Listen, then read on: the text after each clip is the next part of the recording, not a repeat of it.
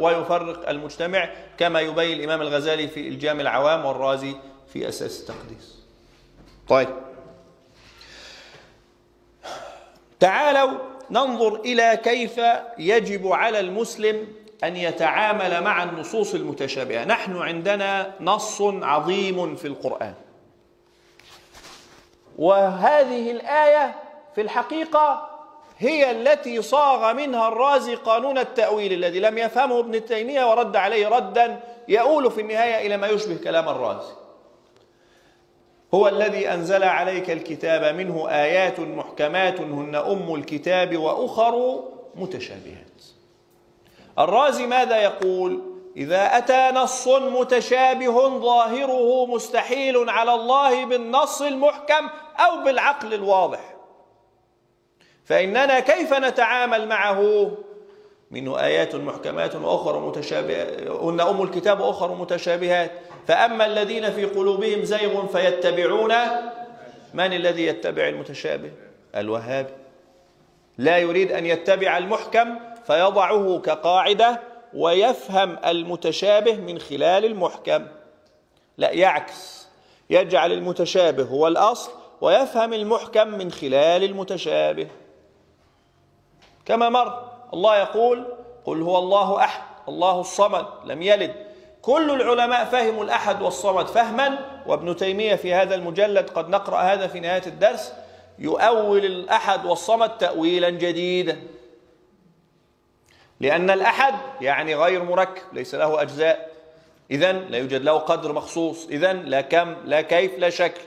وهو يريد أن يثبت هذه الأشياء فيعطيك تأويل جديد لكلمة الأحد. طيب الصمد. الصمد يعني الذي لا يحتاج إلى شيء ويرجع إليه في النوائب أو في فهم آخر ال الذي الأجوف الذي لا جوف له.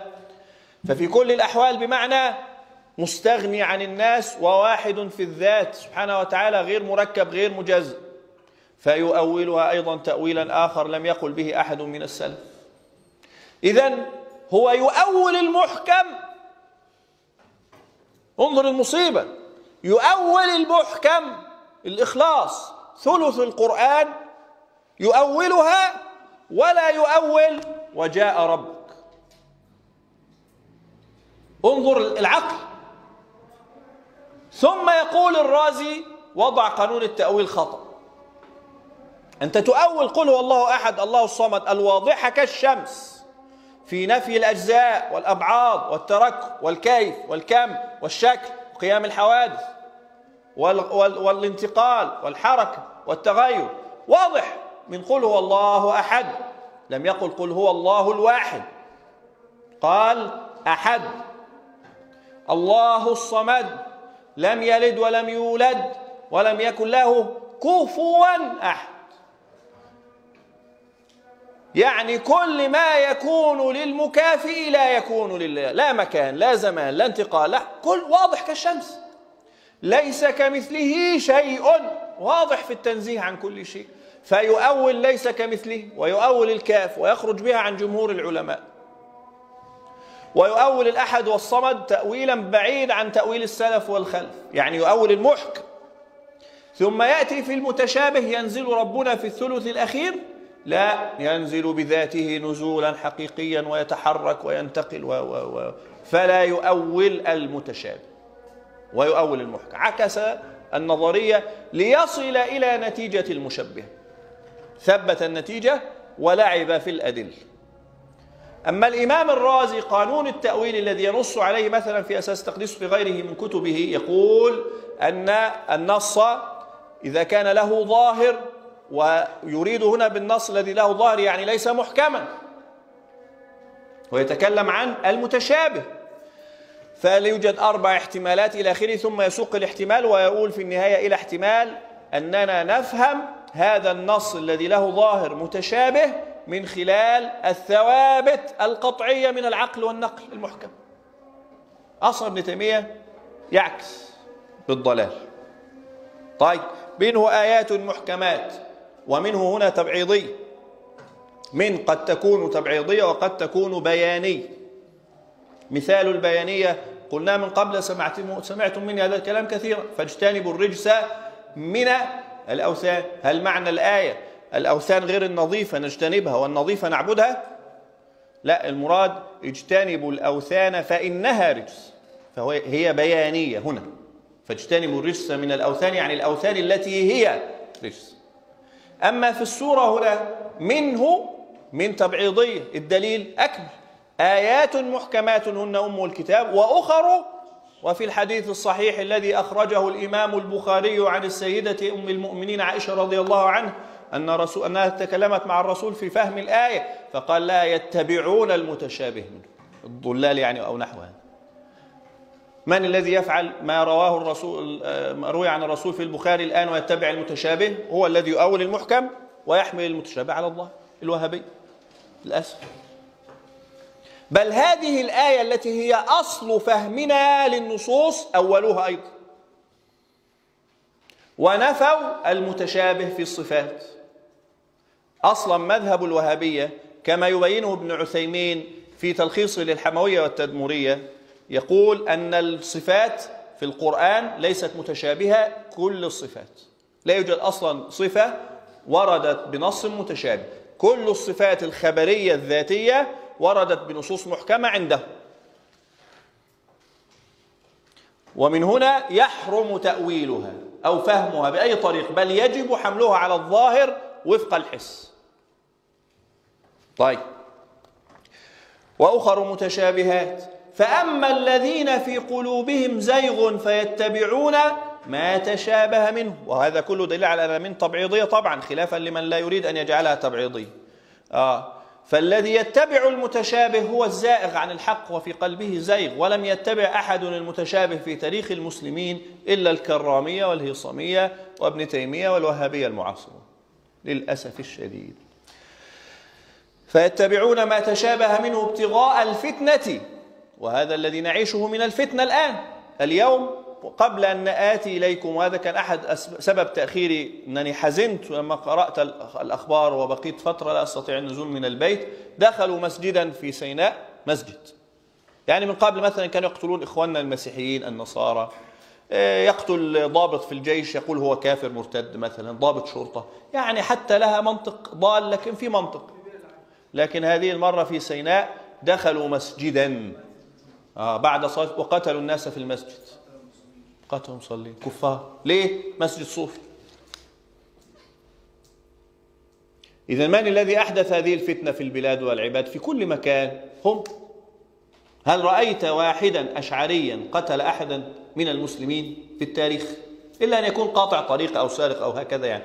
لكن من من علماء الأشاعرة أو المذاهب الأربعة من أهل السنة والجماعة أو من الصوفية المتمسكين بالشريعة حمل السلاح على المسلمين وأحدث الفتنة بين المسلمين. لا يوجد في التاريخ. المعاصرون كلهم كل فرقة أحدثت فتنة في بلد أصل استنادها لكتب محمد بن عبد الوهاب للأسف الشديد. ابتغاء الفتنة وابتغاء تأويله إذا تأويله جائز أم ممنوع؟ ممنوع. إذا المحكم واضح كالشمس. والمتشابه لا تأويل له. النص يقول هكذا. ثم يوضح النص ويقول وما يعلم تأويله إلا الله. وهنا وقف في قراءة.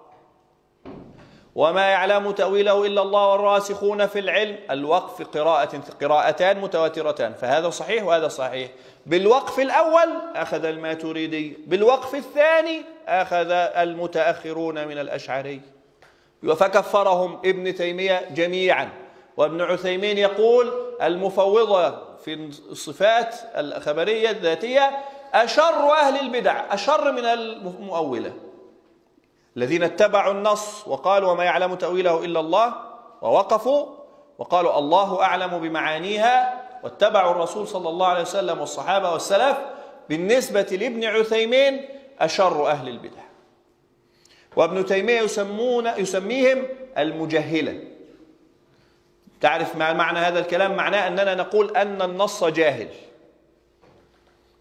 أو أن الرسول جهل. أو أن الصحابة جهلوا.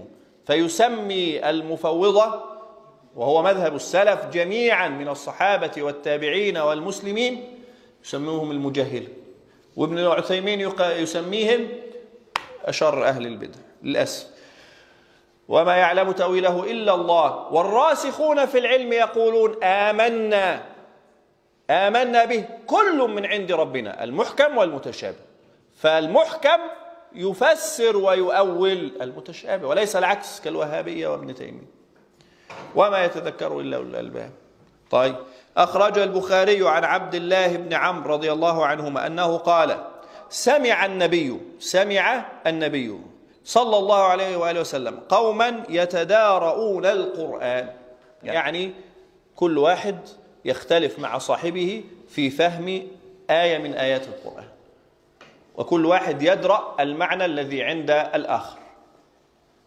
لا يحصل هذا الوصف إلا في المتشابه. المتشابه الذي خفي معناه خفاء شديدا.